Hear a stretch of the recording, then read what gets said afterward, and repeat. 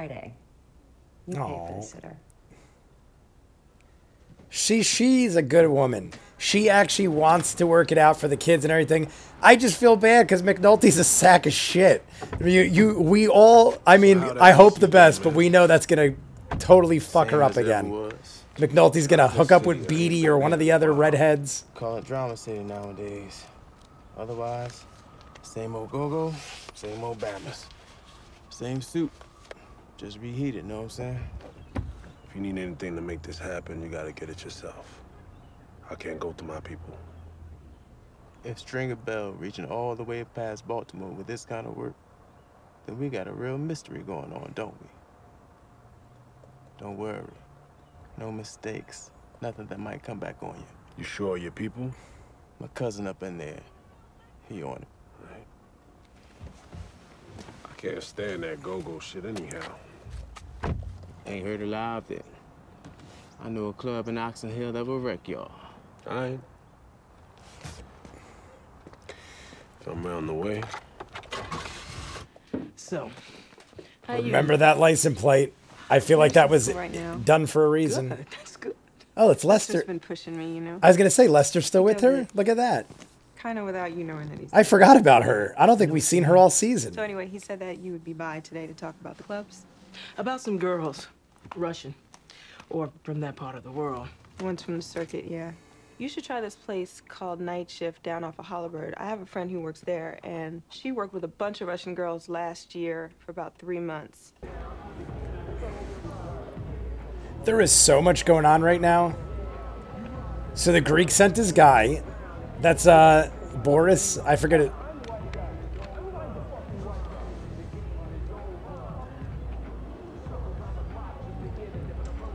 Watch something crazy happens and Jesus guys blast them all.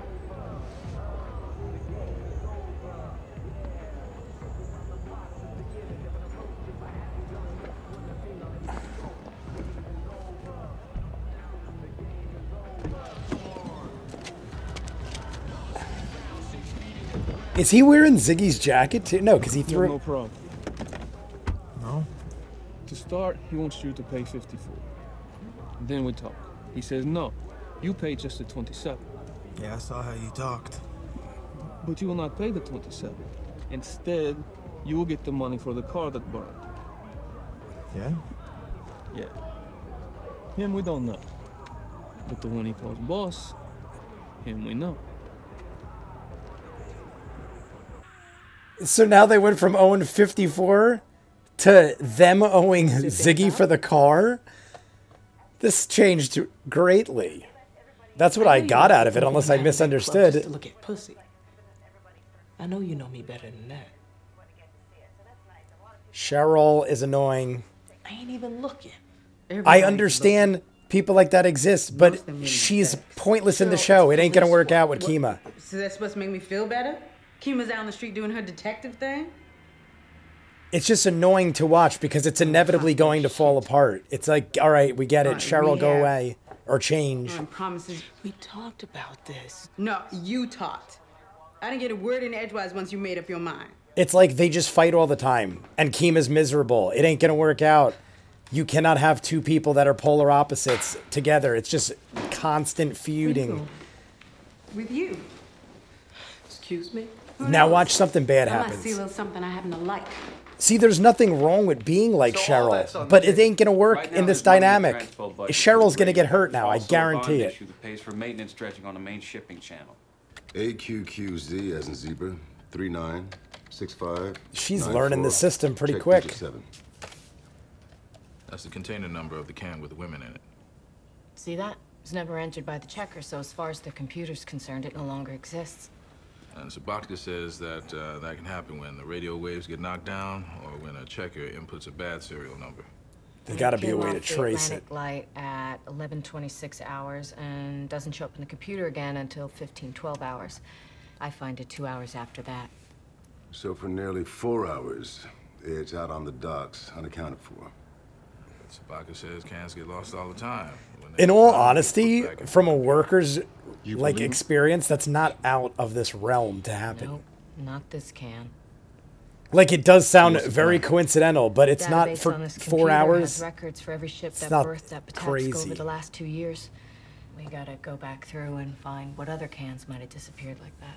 So, how long ago did they come through? He looks Six so months back was the uncomfortable. last batch.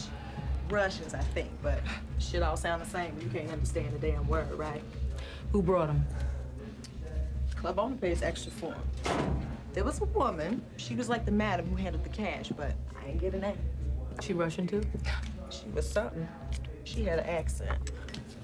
So it's like one day all Baltimore girls are at the bar, and the next, what, all foreign girls? Mm-hmm. That's about right. They was making so much money with them new girls. They started letting some of their regular dancers go. Not me, because I mean I got clientele here, but some of the others. Where'd the girls stay? Where they told shit. They ain't here legally. They don't know shit. They ain't got no family. The men they got handling them are always with them. You her girl? Yeah. I wouldn't let mine come in here either without me. These bitches in here? Oh, I almost feel bad for Cheryl. Cheryl's like out of her element, but she's got balls. Oh, well, you know what I mean. It's the first like Cheryl like Cheryl stands her ground. All right. I kind of I kind of liked her there. It's just it just annoys me because it makes no sense.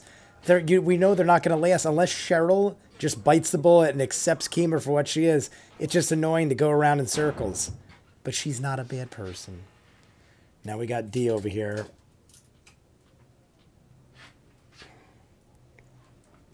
What the hell's he doing?